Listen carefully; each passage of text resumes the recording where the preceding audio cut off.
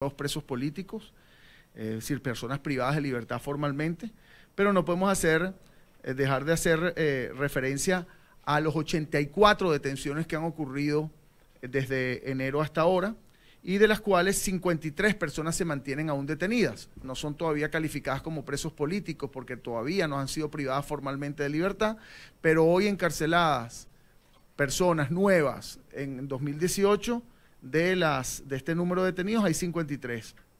Ven, hay un tema fundamental que debemos seguir insistiendo, que es que 22 civiles han sido presentados ante tribunales militares, sigue existiendo la presentación de civiles ante tribunales militares, el uso de la jurisdicción militar para encarcelar a civiles y un, debo referirme a dos cifras importantes. Eh, solo en el gobierno actual, es decir, del año 2014, han existido 1.325 presos políticos, es decir, un número acumulado de presos que supera cualquier expectativa que hubiésemos tenido.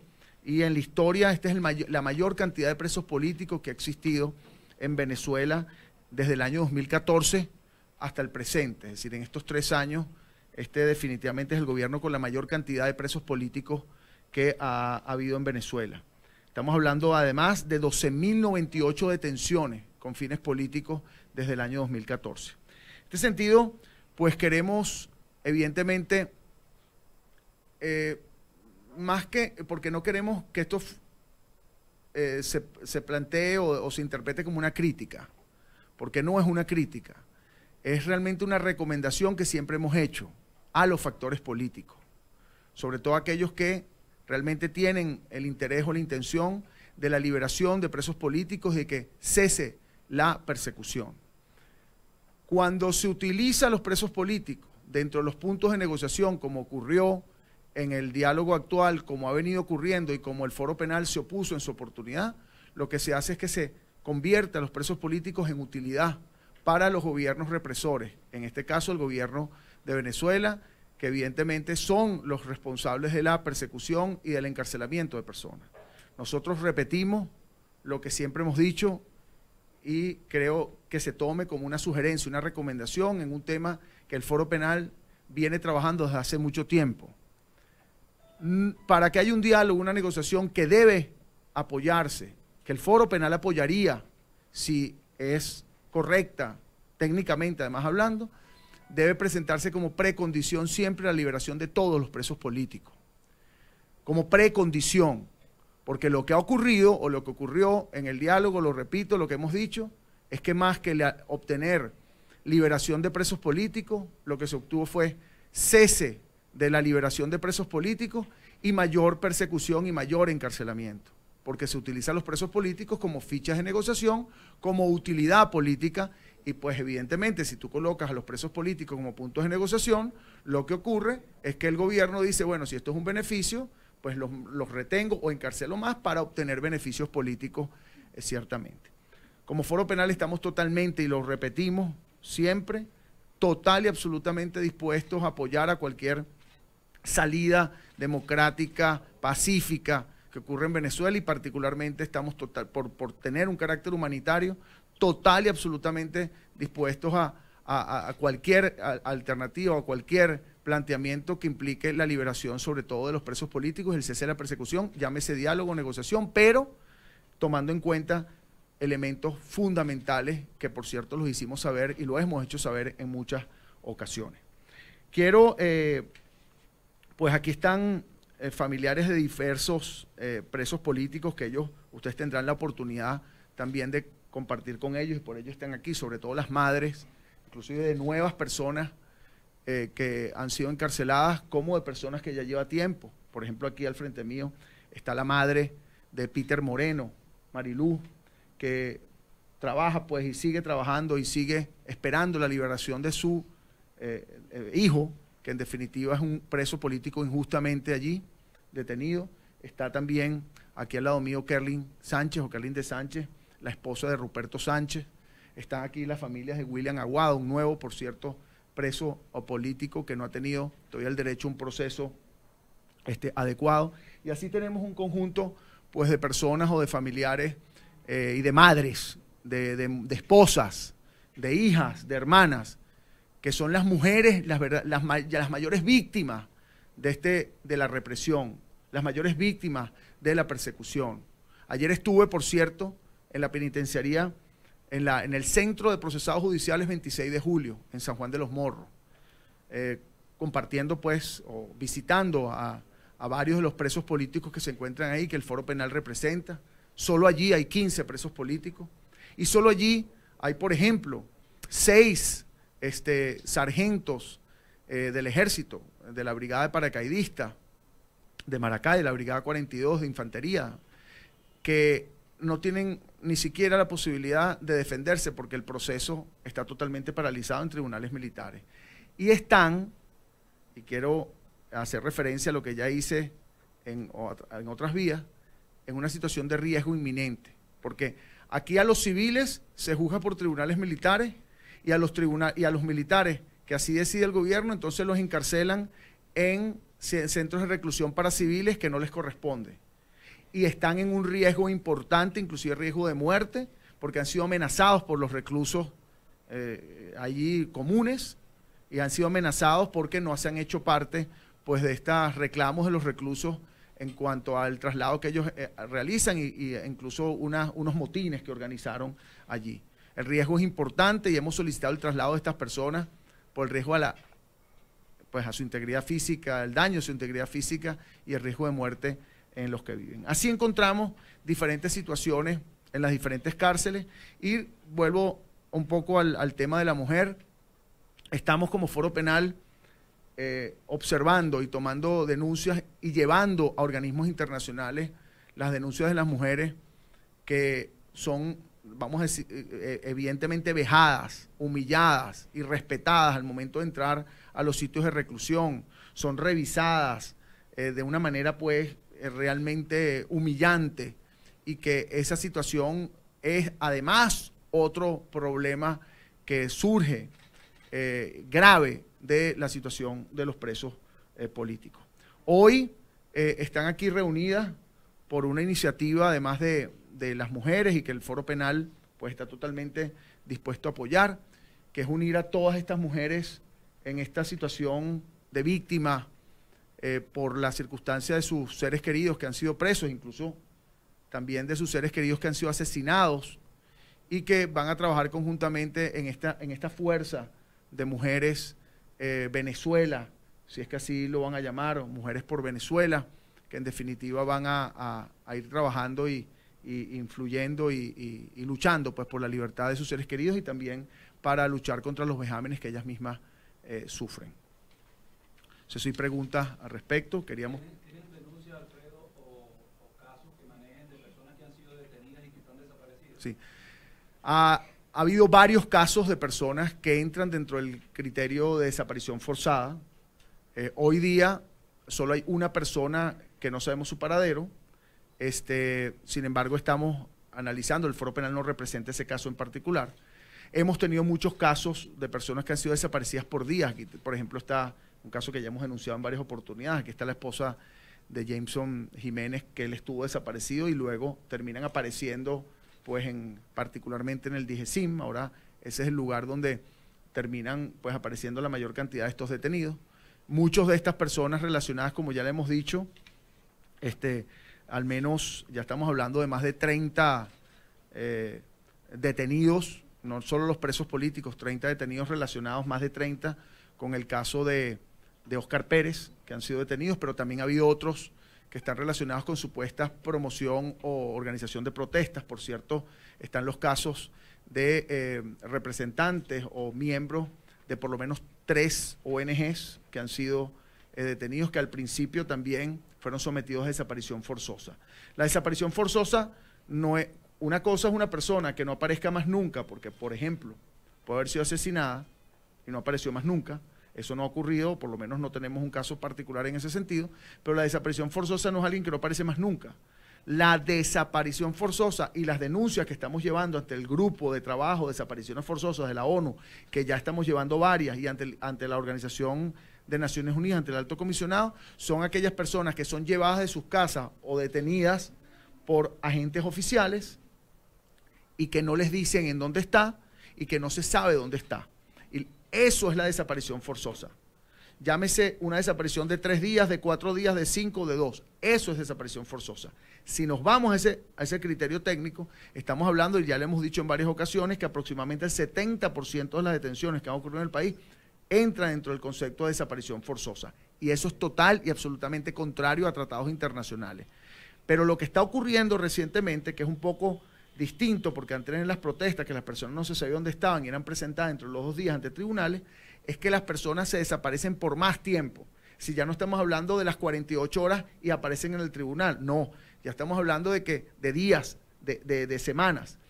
E incluso hay un tema que está ocurriendo ya sistemáticamente, no se les permite la asistencia de abogados. Son llevadas inclusive en las noches a los, a, los tribunales para que los abogados no las, no las asistan cuando han sido desaparecidos para que no se denuncie concretamente esa situación. Este, hay casos como el de Jameson Jiménez, por cierto, donde la orden de aprehensión fue más o menos en las mismas circunstancias, desapareció, después llegó al tribunal, pudimos asistirlo porque estábamos allí en el momento que llegó, porque no hay información específica en los tribunales militares, pero que inclusive las órdenes de aprehensión son posteriores a la, a la aprehensión. Esto es algo increíble, realmente, bueno, increíble en los términos del, estudio de lo, que uno tiene como concepto de Estado de Derecho. Ya no pasa a ser lamentablemente increíble en Venezuela, pero están ocurriendo violaciones a los derechos humanos evidentes, graves, y yo le, esto es un llamado a los funcionarios sobre todo que participan en estas acciones, que tienen que estar conscientes que ellos son responsables de esta situación. Usted no puede tener a alguien sin orden de aprehensión, o que no haya cometido un delito, es decir, lo que se denomina flagrancia,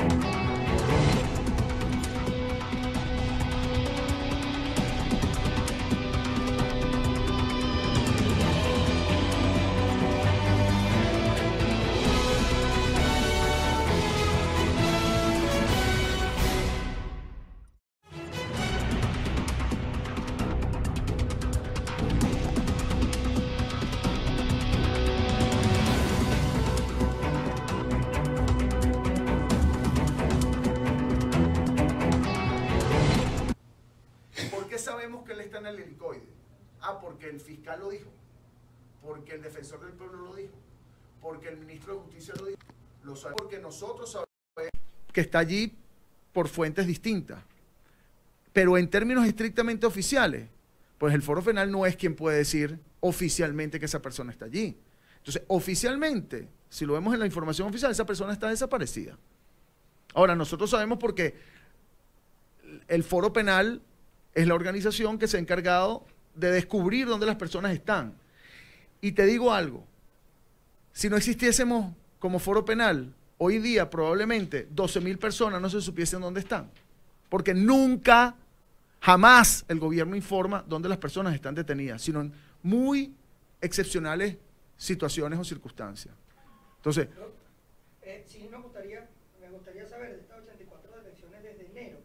Te habla que hay 84 nuevas detenciones eh, y 53 que aún permanecen detenidos. Estas personas que fueron detenidas de enero hasta este momento, ¿a qué se le atribuye? ¿A qué casos específicos fueron detenidas? Porque muchos fueron detenidos el año pasado, por ejemplo, por el tema de las protestas.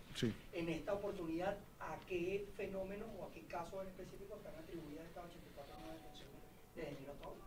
La pregunta tiene dos respuestas, ¿no? Eh, eh, por un lado, solo me puedo referir a aquellos casos donde hemos tenido acceso al expediente, ¿no? Y recuérdate que los de, los 84 detenidos hay 59 aún, eh, muchos de ellos que no han sido ni siquiera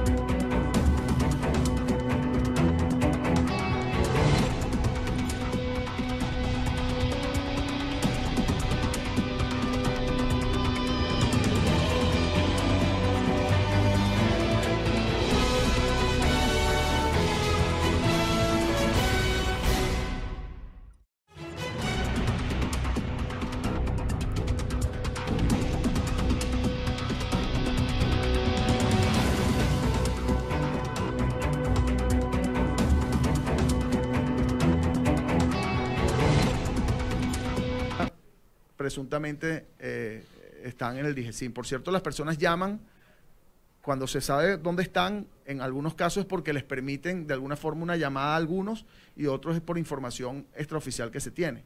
Y la llamada, muchas de las personas dicen, mire, estoy aquí, estoy bien y me van a presentar ante los tribunales y de aquí me van a llevar a, una cárcel. O sea que ya se sabe antes del tribunal ser presentados que ellos van a ser llevados a, una, o sea que van a ser privados de libertad. eso, eso es algo también bastante irregular que está ocurriendo allí. Pero em, otros casos sabemos que están relacionados no con el caso de Oscar Pérez, sino con supuesta organización o promoción de protestas. Que la, protesta, lamentablemente ahora, como ustedes bien saben, se está asociando, al menos en algunos casos, con la ley eh, del odio. Entonces, estas personas, por estar asociadas con supuesta promoción de protestas, entonces son los responsables pues, de supuestos actos competitivos o rebelión. Ese es el caso de las eh, estas eh, miembros o, directores de ONGs, el caso de los em, embajadores comunitarios. Son personas que supuestamente ellos son promotores de protestas, es decir, aquí no hay una situación con Oscar Pérez. El caso también de Corazón Valiente, otra organización. Es casos de detenciones que las personas supuestamente son ellos los promotores de protesta porque ayudan a muchachos indigentes que de alguna manera estos muchachos en alguna oportunidad estuvieron relacionados con alguna protesta. Y ahí es donde viene eh, la, supuesta, eh, en este caso, imputación.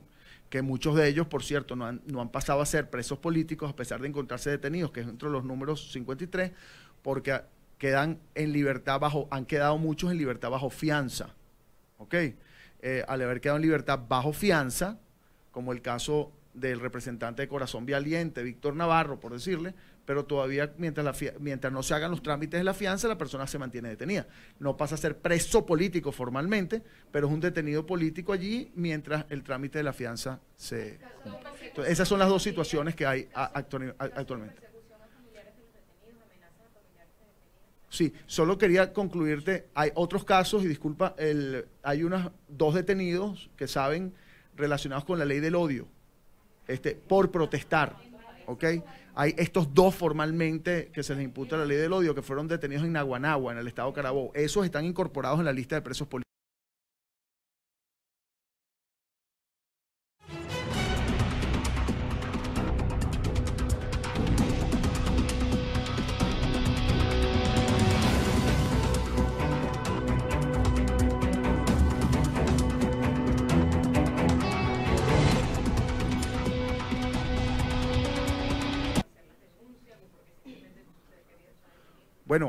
En lo que respecta a esta situación particular de, las actuaciones de Oscar Pérez, la persecución a familiares se ha convertido ya en un tema, eh, y amigos, en un tema casi que regular.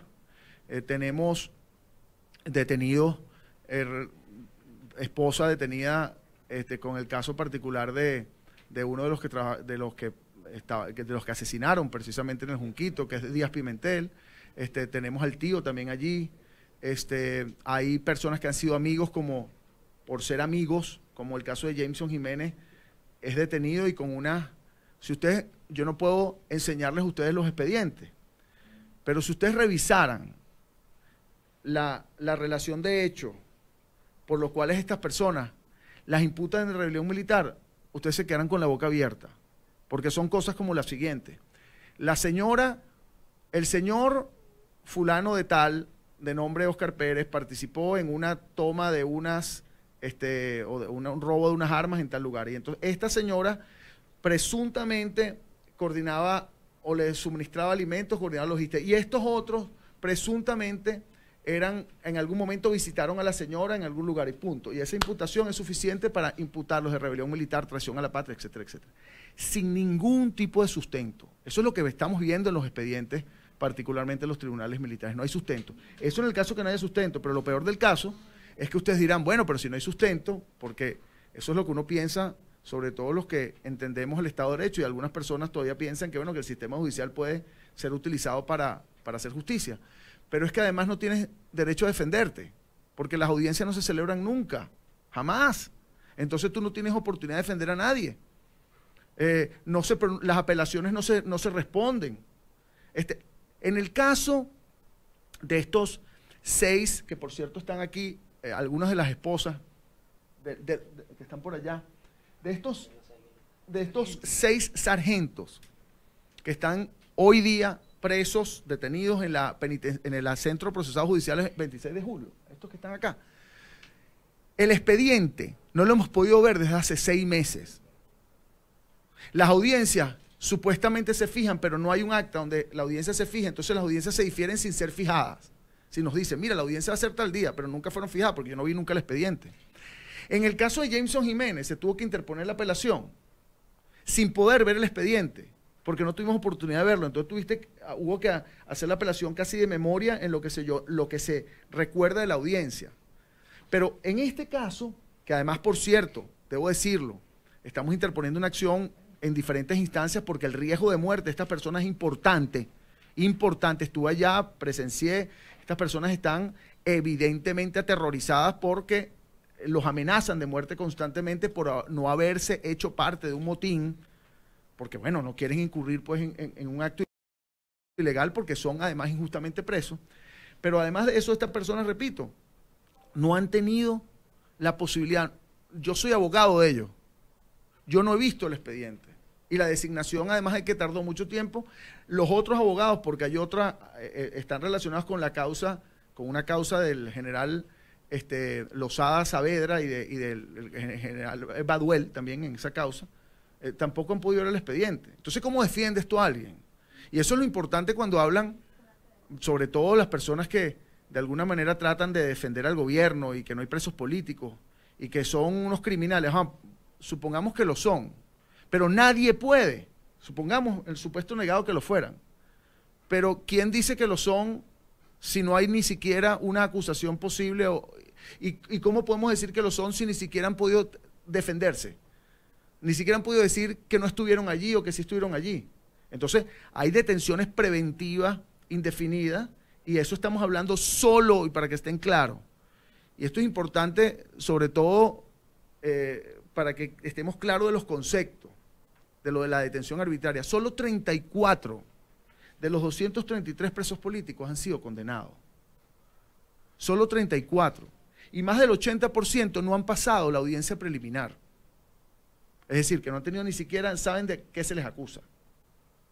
Y los condenados injustamente, este, por eh, situaciones, eh, pues evidentemente sin justificación, que tampoco se ha respondido la apelación ni nada de esta cantidad de cosas. Entonces la espera de los familiares y la espera de ellos no es este, o no está sustentada para ser libres de que los defiendan bien o los defiendan mal o que el tribunal decida una cosa u otra.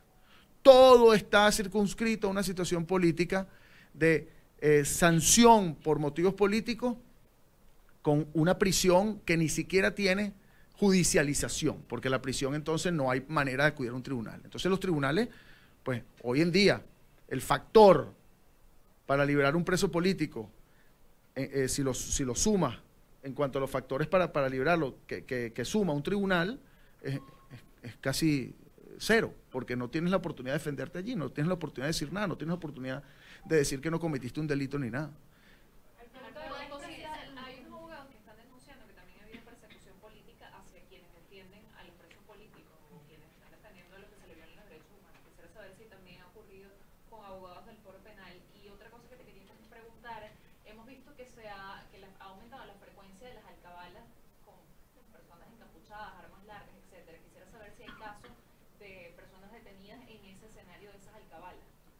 Sí, eh, eh, eh, casos de personas detenidas en Alcabala, hay varios casos.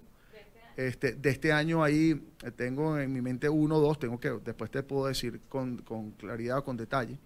Este, bueno, en el caso particular de, de Antonio Pérez Cisnero, un caso que detuvieron en relación con Oscar Pérez fue en una Alcabala, por ejemplo, reciente, ¿no? Esto fue en la zona de Latillo, si no me equivoco. De todas maneras, ahorita tengo que aclarar, ¿no? ¿No?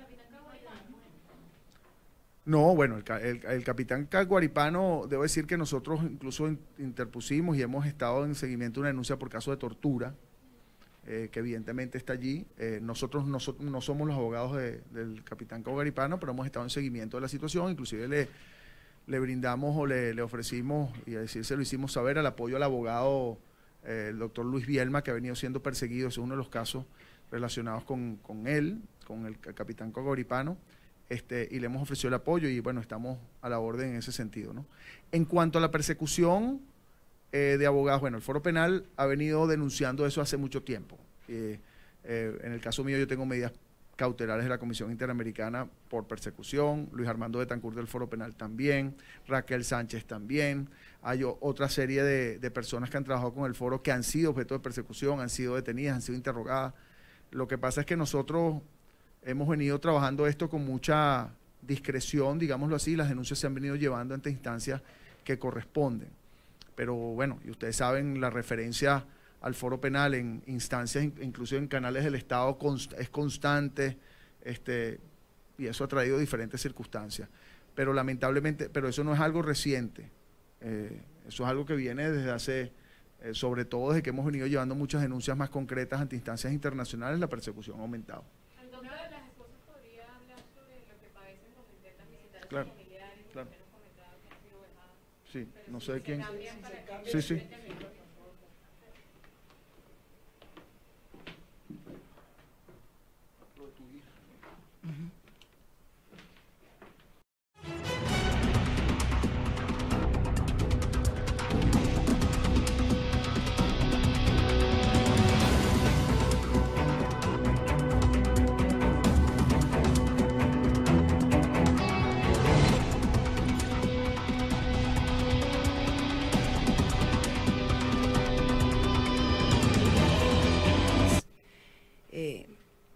Son muchos.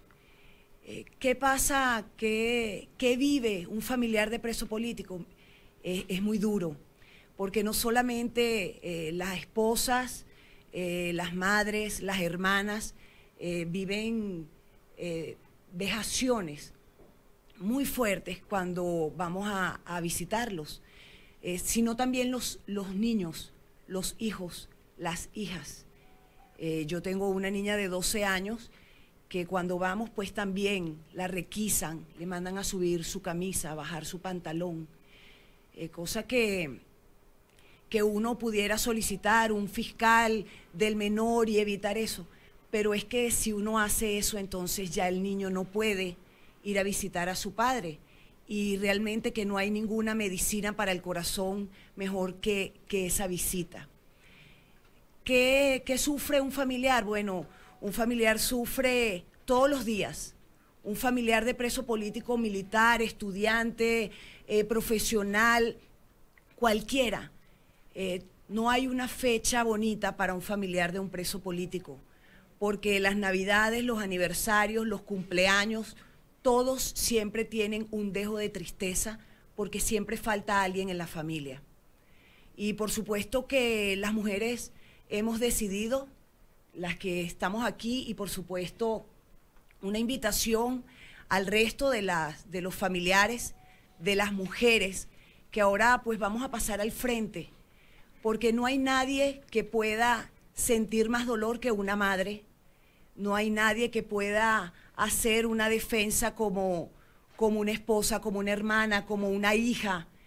Y hemos decidido pues eh, reunirnos y bueno, esto es una iniciativa que está surgiendo, pero que poco a poco le iremos dando forma para, para también hacer un llamamiento a los entes internacionales y por supuesto a, todo el pueblo de Venezuela a que se una en nuestra, en nuestra misma voz, porque alzar la voz no es fácil cuando se trata de un preso político.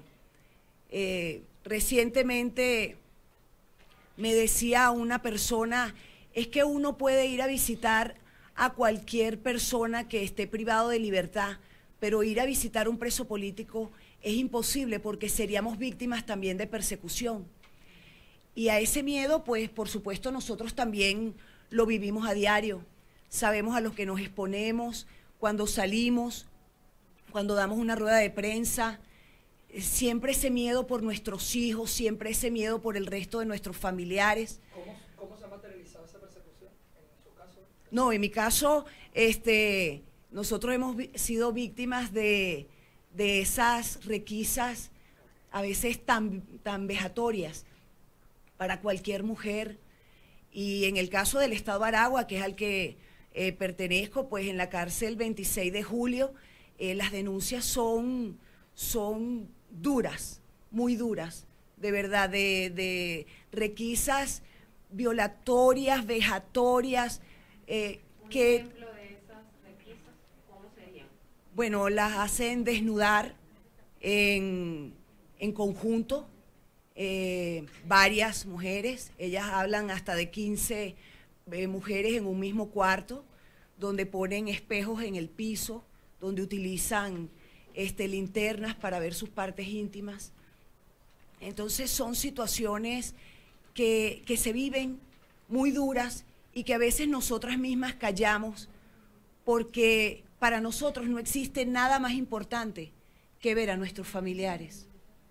Ese para nosotros es el, eh, para nosotros es, es el remedio que cura tanto dolor y tanta tristeza por no tenerlos a nuestro lado. Y más cuando, por supuesto, tal vez está de más decirlo, pero quiero hacer énfasis, estamos hablando de inocentes privados de libertad. Y eso para nosotros es lo más importante. Por eso cuando nosotros llegamos a la cárcel a visitarlos, civiles o militares, nosotros llegamos con la, con frente en alto, eh, con mucha dignidad y aguantar los rigores pues a los que, a los que somos sometidas. Casi cuatro, casi cuatro. Este, bueno, en el caso de mi esposo, que es un militar, teniente coronel de la Fuerza Aérea, este, privado de su libertad desde ese momento, este, desde su detención, pues nada, la tortura psicológica, ¿sabes? De, de, saberse preso, de saberse evitado en su, en su accionar siendo una persona inocente. Eso, eso yo pienso que es lo más terrible. Pero, ¿sabes? El, llamado que uno hace es a, a, todo, a todo venezolano. Porque lamentablemente aquí nadie está exento de que, de que le pase. Periodistas, médicos, eh, cualquier tipo de profesional.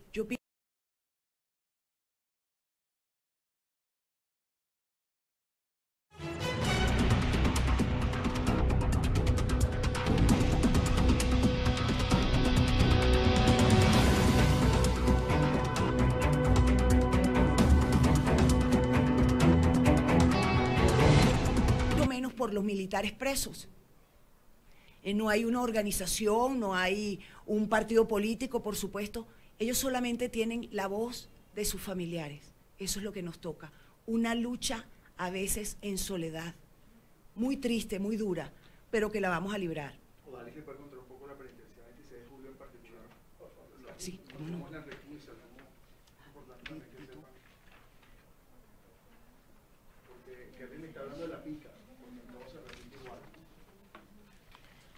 Buenas tardes, mi nombre es Odalis Bermúdez, hermana del sargento primero Rubén Bermúdez, detenido en la 26 de julio. Bueno, ¿qué les puedo decir? Las requisas allí son denigrantes realmente.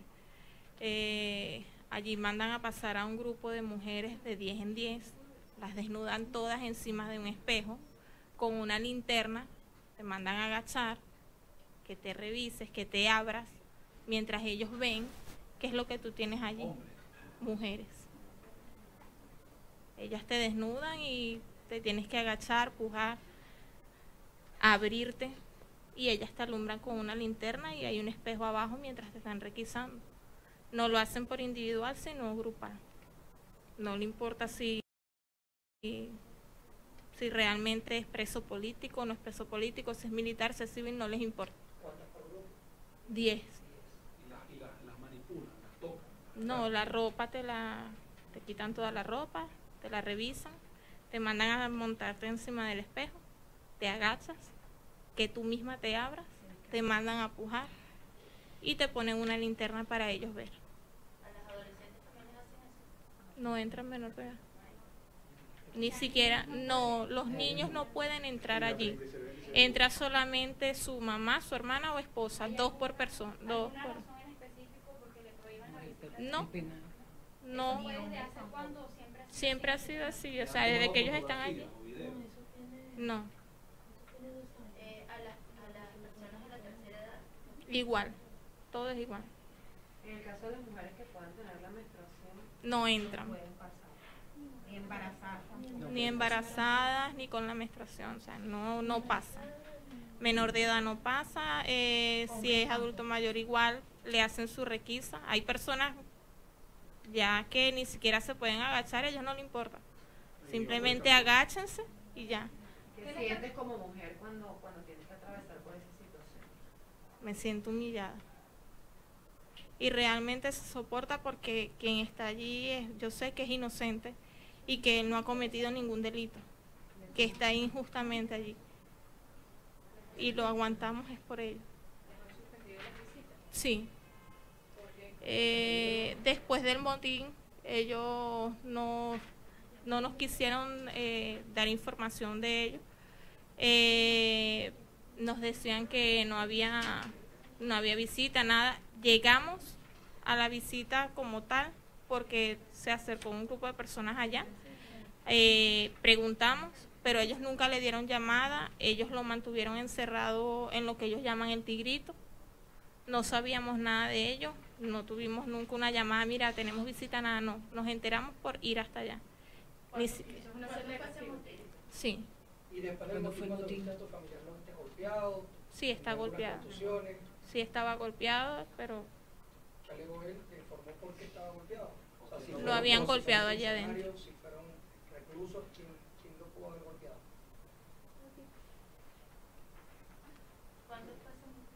el 13 de enero. ¿Cómo es la convivencia con los No entran hombres. No, ellos allí no ven ni a sus hijos, ni a sus hermanos, ni a papá, no. Para que entre el papá tiene que llevar el acta de función de su mamá. Quiero, quiero explicarles que evidentemente hay cosas, recuérdense que estaban personas recluidas allí, entonces tampoco quisiera que no nos insistamos a, tampoco a, que, a perjudicarlos a ellos porque están en una situación donde si tú hablas de un custodio, hablas de un preso que le hizo algo, Exacto. eh, eh, pues el riesgo para ellos es importante. ¿Tu familiar se encuentra en la cárcel de la finca o el, en el 26 de julio.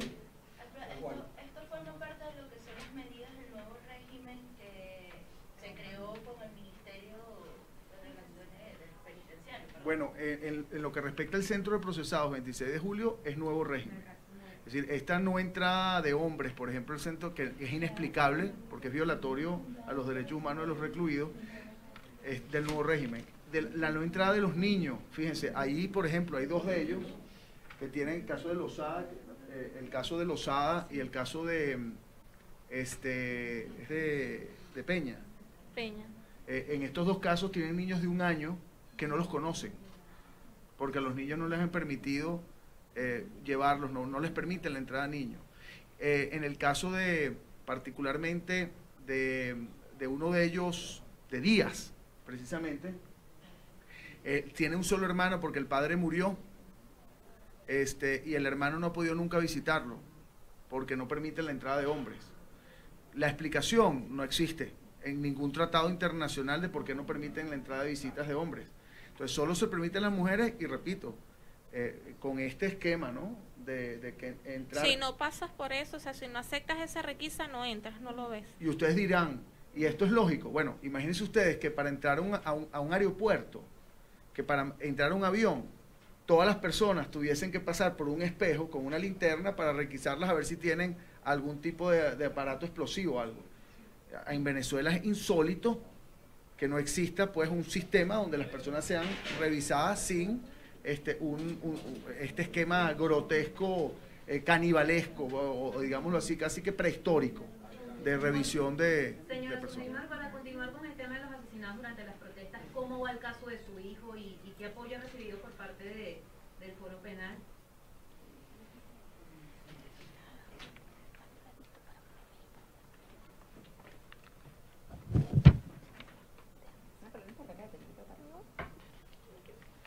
Eh, buenas tardes, eh, Sujaimar Arma. Este, bueno, Tiene que sentarse.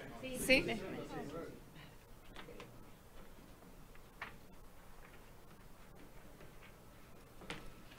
Buenas tardes. Eh, el caso de Neomar está prácticamente igual. Hoy se cumplen ocho meses de- del asesinato y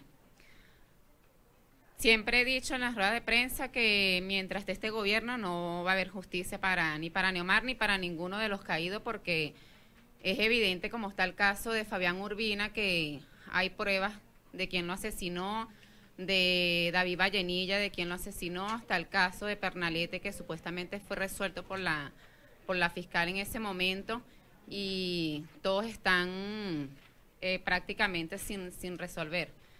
¿Qué puedo esperar yo en el caso de Neomar cuando ellos de un momento dicen que fue un mortero lo que lo mató? Eh, creo mucho en la justicia divina y yo creo que la justicia, la mejor justicia que hay para todos los caídos es que salga este gobierno.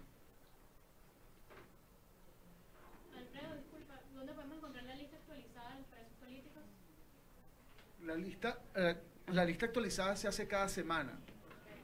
A los efectos,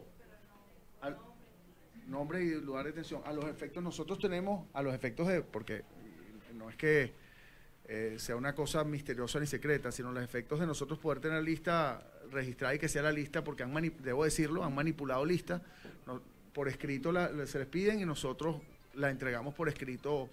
Así se le hemos hecho, por ejemplo, le hemos hecho, hecho entrega a la lista hoy a la embajadora de México, a la embajadora de la Unión Europea, al embajador de España, al alto comisionado de derechos humanos, evidentemente al secretario general de la OEA, que, que es quien la certifica. Entonces, de esa manera es que entregamos la lista. Lo que pasa es que eh, eh, es un error hablar de listas únicas, es decir, la lista se actualiza porque, no sé si recuerdan, la semana pasada la lista era 230, hoy estamos en 233, pero los 233 no es que aumentaron en tres, eh, disminuyeron porque eh, eh, eh, excarcelaron una persona y se aumentó en cuatro. Eso para que entiendan, ese es lo que es el efecto puerta giratoria. Por eso las listas, en cualquier caso, tienen, hay que actualizarlas semanalmente. Nosotros no la, como ustedes podrán entender, no, no colocamos las listas públicas, por lo menos en la página web, antes lo hacíamos, a los efectos también de proteger ciertas identidades. Y les digo casos como los siguientes. No voy a hablar del lugar porque evidentemente coloco riesgo. Hay personas que están dentro de las poblaciones comunes, que son presos políticos, que incluso no podemos señalar que son presos políticos específicamente porque también los podemos colocar en riesgo dentro de la población común. Entonces, esas son circunstancias que nos hacen no eh, tener la lista o, o plantearla públicamente y a veces no dar la información específica. Repito, esta lista, por cierto, esta lista se la envió de presos políticos y la hemos enviado cuando nos requieren formalmente, se la enviamos a la Asamblea Nacional porque a pesar de que teníamos nuestras diferencias con relación al tema del diálogo y la negociación en cuanto a presos políticos, estamos siempre, porque esa es nuestra función, total y absolutamente dispuestos a apoyar y a, enviar la información que nos requieran. A Julio Borges en su oportunidad nos pidió formalmente, se la enviamos, este, inclusive a la Asamblea Nacional Constituyente pidió la lista porque iban a lograr liberar.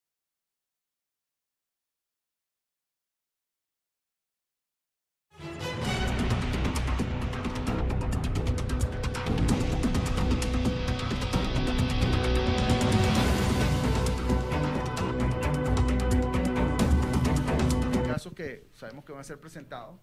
Este, pero, pero también lo que pasa en las semanas, por eso es importante la semana, en las semanas ocurren escarcelaciones por diferentes circunstancias.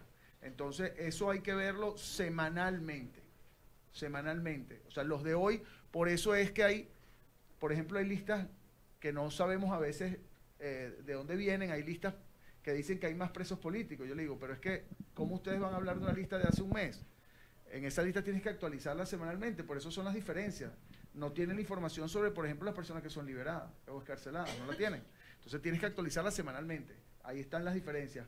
Este, no se mantienen siempre los mismos y no tienes la información sobre los nuevos que son encarcelados. Entonces, eso, ese es el tema. Pero eh, evidentemente, esa es una información que está allí y que, y que, bueno, y que está bien detallada. O sea, hoy en día la lista no solo tiene el detalle del lugar de detención, nombre, toda la información específica, sino incluso la biografía específica o la información de, de por qué fue detenida. Nosotros tenemos, esto es importante, cuando yo les hablo de 12.098 detenciones, no es un número, es que tenemos la base de datos con todas las personas detenidas registradas del año bien detalladas del año 2014. O sea, nosotros, y, quiero decirles que esta lista, por cierto, estas detenciones han sido remitidas ante organismos internacionales por diferentes denuncias que hemos interpuesto, sobre todo ante, el grupo de detenciones arbitrarias, que tiene la lista de 12.000 detenciones que ellos están evaluando como detenciones arbitrarias. Bien, en palabras de Alfredo Romero, que es el director ejecutivo del Foro Penal eh, Venezolano, todo esto ya dando la cifra actualizada de presos políticos en Venezuela, un aumento desde diciembre que habían 213 presos políticos, hoy 273, solamente 33 han sido condenados de lo que ha sido esta lista de presos políticos. También ha asegurado que desde el gobierno de Nicolás Maduro, que has- eh, ganó las presidencias en el año 2014, se han dado alrededor de 1.325 presos políticos, 12.098 detenciones, convirtiendo por supuesto esta administración de Nicolás Maduro en una de las más represoras, al menos lo que establece el eh, Foro Penal Venezolano como uno de los gobiernos más represores en este caso, por supuesto los casos que se están realizando con estas violaciones a los derechos humanos de los familiares que están ingresando a ver a sus familiares y presos políticos. Nosotros desde acá hacemos un contacto en esta transmisión, los invitamos a estar bien pendientes de eh, toda la programación que tiene BPI TV para ustedes. De Caracas, Venezuela, reportó Manuel Fajardo.